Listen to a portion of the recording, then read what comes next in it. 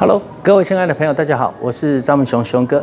另外一种 L 型的打法，从外朝里打，哈，往里面打。